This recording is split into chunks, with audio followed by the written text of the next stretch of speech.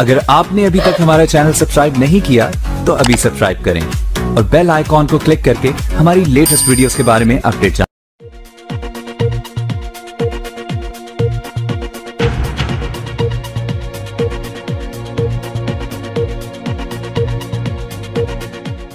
विगत दिवसों पूर्व हुई सनावत में लूट की घटना के आरोपियों को खरगोन पुलिस ने किया गिरफ़्तार एसपी सिद्धार्थ चौधरी ने किया खुलासा ज़िले के सनावद में हुई दिनांक 12 दिसंबर की घटना, जिसमें एक स्वर्ण कारोबारी को अज्ञात बाइक सवार व्यक्तियों ने गोली मारकर लूट की वारदात को अंजाम दिया था।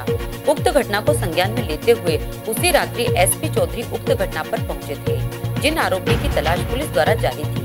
उक्त घटना का खुलासा करते हुए एसपी सिद्धार्थ चौधरी ने बताया कि सनसनीखेज हत्या के आरोपियों की धरपकड़ हेतु छह टीम गठित की गई। सनावत के प्रत्येक दुकान से सीसीटीवी फुटेज खंगाले गए। उक्त घटना स्थल निमाड़ रेंज डीआईजी द्वारा बारीकी से निरीक्षण कर दिए गए थे निर्देश। एसपी द्वारा प्रतिदिन पहुंचकर निर्देशित किया गया। साथ ही अतिरिक्त पुलिस अधीक्षक जितेंद्र सिंह पवार द्वारा पिछले आठ दिनों से लगा रखा था सनावत में कैंप। उक्त घटना में आरोपियों में अलीम पटेल, कादिर शेख जाहिद खान, सद्दाम शाह एवं जिगर शेख को गिरफ्त में लिया गया। उक्त आरोपियों के पास एक मोटरसाइकिल एवं विभिन्न कंपनियों के मोबाइल फ़ोन बरामद किए।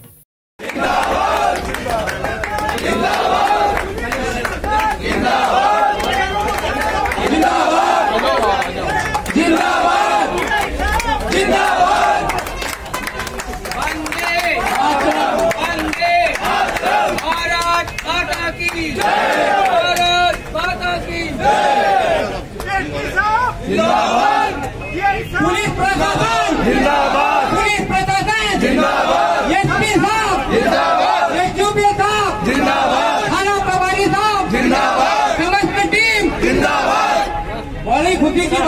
कुछ दिन पहले हमारे सनावत नगर के अंदर एक लूट की वारदात हुई थी, जिस लूट की वारदात को अंजाम कुछ अपराधी लोगों ने दिया था।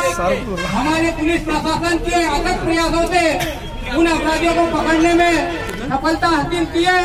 हम गांववासी हम नगरवासी की ओर से पुलिस प्रशासन, एसपी साहब, एसडीओपी साहब, थाना प्रभारी और समस्त टीम का से इस्तेमाल करते हैं। जय हिंद, जय महाराज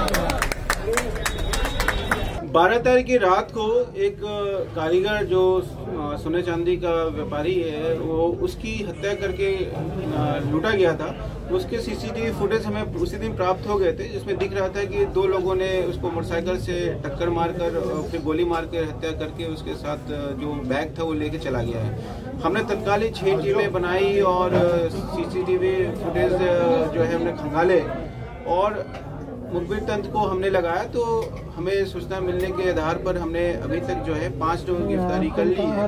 जो स्थानीय सनावत के रहने वाले हैं, उसमें एक पुराना बदमाश है और इसके अतिरिक्त अभी तीन आरोपियों की हम तलाश कर रहे हैं। जो मुख्य आरोपी है, जिसने गोली मारी, वो अभी दूसरे ज़िले का है और उस ज़िले के से वो फरार भी चल रहा है। एक हत्या के मामले में भी वो बंद रहा है। जेल में ही उसकी मुलाकात स्थानीय एक बदमाश अलीम से हुई थी और एक और बंगाली कारीगर है, जिसने उसकी सूचना दी थी कि इस मृतक जो दल- इबादुल्ला हक है, वो रोज जो है काफ़ी ज़्यादा संख्या, मात्रा में जो है सोना ले जाता है।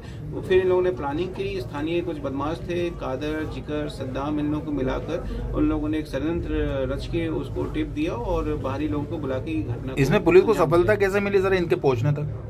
हमें काफ़ी, हमने अलग अलग टीम बनाई थी और हमने जो है टेक्नोलॉजी के साथ साथ जो है अपने मुखबिर तंत्र को भी मज़बूत किया कई लोगों से बातचीत की और हमें मालूम पड़ा कि यहाँ के स्थानीय लोगों को कुछ बाहर के लोगों के बदमाश के साथ देखा गया है। इस पर हमने लोगों से उनको पकड़ा, पूछताछ किया तो हमें काफ़ी कुछ इससे जानकारी मिलती चलेगी। कड़ी दर कड़ी मिलाने पर हमें पूरा षडयंत्र इसका मालूम पड़ गया कि किसने इसको टिप दिया, किसने संकेत दिया इसका काम क्या था, सबके रोल क्लियर हो गए। सर इसमें कितने आरोपी और पकड़ा सकते हैं अभी?